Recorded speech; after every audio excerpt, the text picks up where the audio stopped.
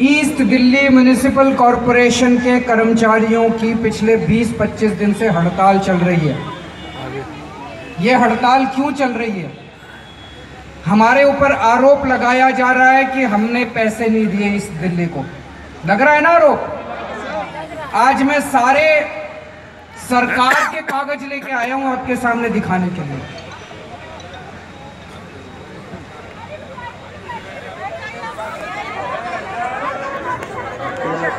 ये सरकारी कागज़ है। इसमें पिछले 10 साल का लेखा जोखा है।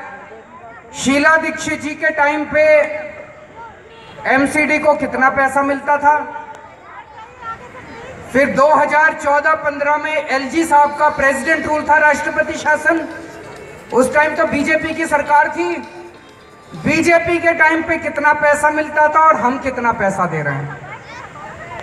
2013-14 में जब शीला दीक्षित जी की सरकार थी, उन्होंने ईस्ट एमसीडी को 2013-14 में दिया दो सौ सतासी करोड़ रुपए। याद रखना थोड़ा सा, कितने दिए? मोटे मोटे तौर पे 300 मान लेते हैं। 300 करोड़ रुपए दिए शीला दीक्षित जी ने। उसके अगली साल 2014-15 में आ गए राष्ट्रपति शासन, यानी कि बीजेपी की सरकार। उन्होंने दिए तीन सौ छियानवे करोड़ रुपए मोटा मोटा मान लेते हैं 400 करोड़ रुपए। शीला दीक्षित जी ने दिए 300 करोड़, बीजेपी ने दिए 400 करोड़। 2016-17 में हमारी सरकार थी। हमने दिए 948 करोड़। कितने दिए? मोटा मोटा साढ़े नौ सौ करोड़। शीला दीक्षित जी ने दिए 300 करोड़। बीजेपी वालों ने दिए 400 करोड़।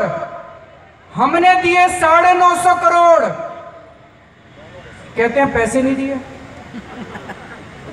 ये कहाँ गया सारा पैसा? उनके टाइम में एक बार भी हड़ताल नहीं हुई। शीला दीक्षित जी के टाइम पे भी नहीं हड़ताल हुई।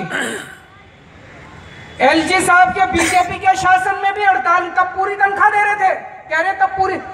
अब हमने तीन गुना पैसा दे दिया, शीला जी देती थी तीन सौ करोड़। हमने दे दिए साढ़े नौ सौ करोड़, तीन गुना से भी ज़्यादा। फिर भी तनख्वाह नहीं दे रहे। कहाँ गया जी सारा पैसा? इन तीन साल के अंदर कोई नई भर्तियाँ तो हुई नहीं है कि कर्मचारियों की संख्या बढ़ गई। इन तीन सालों में तनख्वाह भी नहीं बढ़ी। कर्मचारियों की कई सारे खड़े हैं, पूछ लो। कोई नहीं बड़ी तनख्वाह। फिर कहाँ गया सारा पैसा? जनता पूछना तो चाहती है। भाई, शीला दीक्षित जी के टाइम पे 300 करोड़ में काम चल रहा था, अब साढ़े नौ करोड़ में काम क्यों नहीं चल रहा? और इस साल, मौजूदा साल में, छह महीने में 770 करोड़ दे दिए अभी आधे साल में। शीला दीक्षित जेती थी 300 करोड़ एक साल में हमने दे दिए 770 करोड़। छह महीने में फिर भी कह रहे हैं तनख्वाह नहीं मिली। तो हमारी जो जानकारी है, सारा पैसा चोरी हो रहा है, सारा पैसा ठेकेदारों को दिया जा रहा है, कर्मचारी भी दुखी है बेचारे, गरीब सफ़ाई कर्मचारी, जनता भी दुखी है। आज इनको हम अगर नौ हज़ार करोड़ भी दे देना, इसका दस गुना, तब भी तनख्वाह नहीं देंगे, ये सारा पैसा खा जाएँगे। एक बात तो ये बिल्कुल कहना गलत है कि पैसा नहीं दे रहे। जितना पैसा बीजेपी देती थी, उससे ढाई गुना ज़्यादा पैसा दिया। जितना पैसा शीला दीक्षित देती थी, उससे तीन गुना ज़्यादा पैसा दिया। दूसरी बात, पूरे देश में हर म्यूनिसिपैलिटी को लुधियाना हो, चाहे अमृतसर हो, चाहे रोहतक हो, चाहे बंबई हो, चाहे मद्रास हो, चाहे कलकत्ता हो, हर म्यूनिसिपैलिटी को केंद्र सरकार चार सौ अट्ठासी रुपए पर पर्सन, पर सिटीजन के हिसाब से।